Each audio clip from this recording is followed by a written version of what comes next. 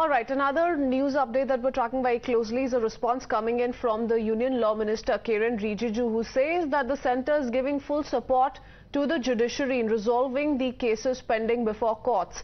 Now, this is certainly a reaction that's come in in response to what was recently said by senior Congress leader Sonia Gandhi and the minister now taking a swipe at Sonia Gandhi and the Congress regime, pointing out that more than 5 crore cases are pending before various courts across the country. Remember, Sonia Gandhi had spoken of the delegitimizing of the judiciary that is being attempted by the BJP. Now, Kiren Rijiju, of course, said this and came out with this rebuttal while he was addressing the three-day 16th National Conference of the Bharatiya Adhivakta Parishad at the Kurukshetra University campus in Haryana. Listen in to what he said. Judiciary ko मजबूत हमने judiciary को पूरा सम्मान भी दिया। कई साल पहले कुछ ऐसे कदम उठाए गए थे सरकार में, जो लोग थे सरकार में, कि जजेस का सीनियरिटी को सुपरसेशन किया गया। ऐसा ऐसा काम किया कि पूरा कम्यूटेड जुडिशरी का जो कॉन्सेप्ट है, उस समय ही ये डिबेट और डिस्कशन हुए थे कि कम्यूटेड जुडिशरी चाहिए सरकार के लिए। कि जो भी जज बने, वो सरकार के लिए ही काम करना चाहिए। ऐसा लोग सोचते हैं।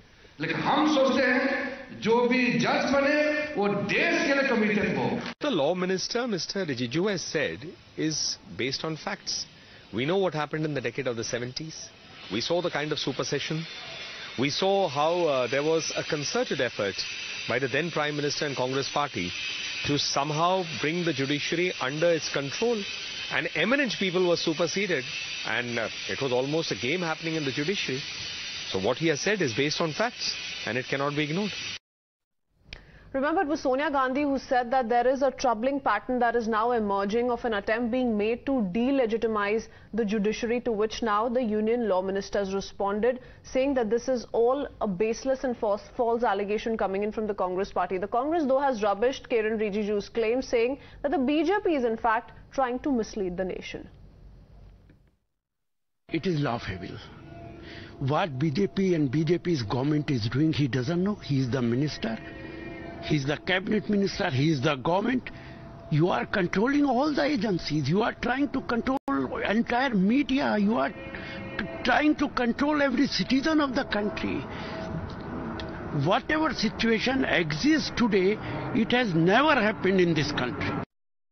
इसलिए बोल तो रहे हैं न्याय मंत्री किरण रिजिजू बुलवा रही है उनको भाजपा का नेतृत्व मैं समझता हूं जिस दिन न्यायपालिका कमज़ोर हो जाएगी उस दिन देश की जनता का विश्वास कमज़ोर हो जाएगा क्योंकि आज भी जनता कहती है हक के लिए हम लड़के सुप्रीम कोर्ट तक ले ही लेंगे In the meanwhile, a reaction coming in from the TMC as well that's taken a jibe at the union minister asking the need to compare BJP regime with that of the Congress.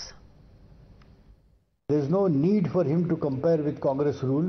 People must be satisfied with regard to the functioning of administration of justice. Honorable Chief Justice of India has said that the judges below are scared to grant bail. This is the plight of administration of justice today. Dependency is growing day after day. Vacancies are not filled up. There is confrontation between executive and judiciary with regard to the process of appointment of judges. There are allegations and counter allegations. So I'm sorry to say that the state of affairs as far as judiciary is concerned today is uh, pathetic and needs to have some urgent curative steps to be taken.